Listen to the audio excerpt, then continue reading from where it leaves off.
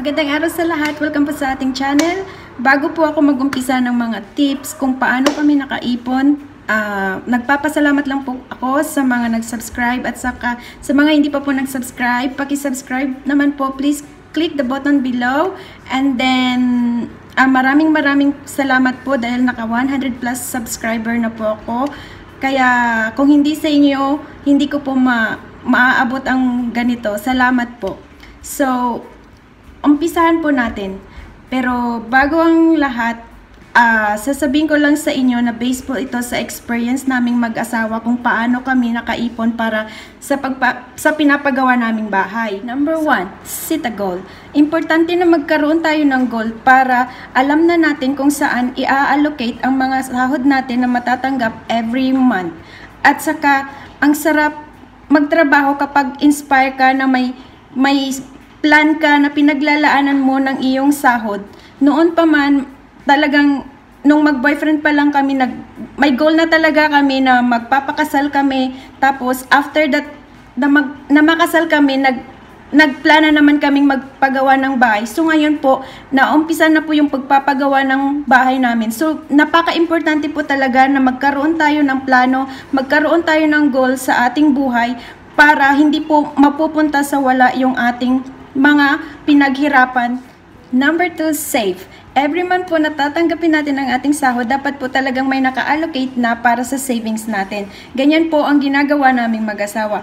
Uh, dahil parehas po kaming nagtatrabaho dito sa Singapore, ang, ang kanyang sahod po, like almost 80% po ng kanyang sahod ay sinisave namin yun para sa pinapagawa naming bahay. At yung sahod ko naman po, para sa mga expenses namin dito, pampadala sa pamilya namin, at saka sa mga emergency or pangbayad sa mga uh, insurance, ganun po ang ginagawa namin. So, kailangan po talaga natin na kahit gaano man kalaki or kaliit ang sahod natin, dapat po talaga matututo tayong mag-save para sa goal natin. Yun po talaga ang the best way na nagagawin natin. Hindi porket na maliit lang ang sahod natin, hindi na tayo makakapag-save. Hindi po yun ang valid reason kung bakit uh, almost ng mga OFW hindi nakakapag-save or naka, hindi nakakapagpagawa ng sarili nilang bahay dahil sa ganyan po nating mindset. So, ngayon po, iibay natin ang mindset natin. Kahit sa kunting, kunting sahod natin, uh, magagawa na natin ang paraan kung paano natin paano tayo makasave. Kahit maliit man ang sahod natin, 20% ng sahod natin, pwede nating i-save yon para sa goal natin. Number 3, budget. Uh, mas ma- mahalaga po na nagagawin natin ang maayos na pagbabudget sa pamamagitan po ng paglilista ng mga dapat at mga talagang kailangan nating bilhin uh, para sa sarili natin or para sa pamilya natin.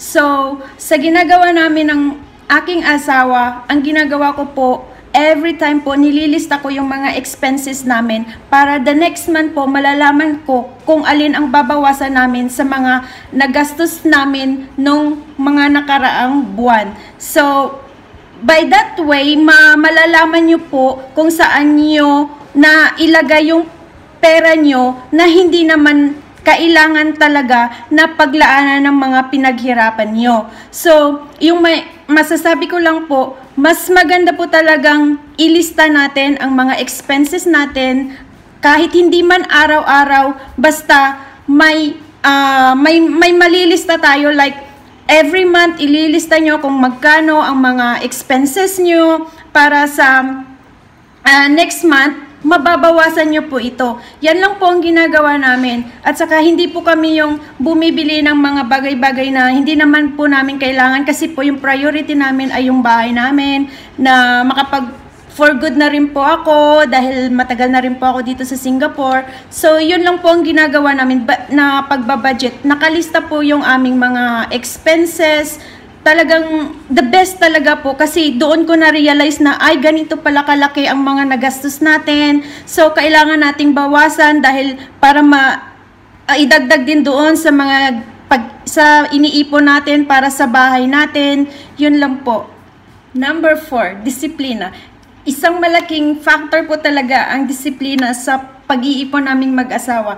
Dahil po sa ganitong paraan, hindi po ako yung na napapabili lang ng bili dito, bili doon. Pag may sale, minsan nakikita ko may sale, parang gusto ko na lang pumikit kasi nga dahil sa iniisip ko may pinapagawa kaming bahay. Pero minsan naman po, ayaw ko rin namang i-deprive ang sarili ko na hindi ko bibilhin. Pero kung talagang may extra po talaga kaming pera, talagang binibili din po namin kasi syempre iniisip din po namin, nagtatrabaho kami para, para mabili din namin ang gusto namin. Pero sa ah, ah, magandang way po na hindi yung may may pinaglalaanan kami ng pera na yan tapos yun ang ibibili namin. Hindi po namin ginagawa yan. So ang ang talagang ginagawa namin pag may sobra po kaming pera yun po ang binibili namin. So ah by that uh, way na, nga nakaka naka, nakaka talagang ano sa loob na ay kaya ko rin palang disiplinahin ang sarili ko, kaya ko rin palang kontrolin ang sarili ko.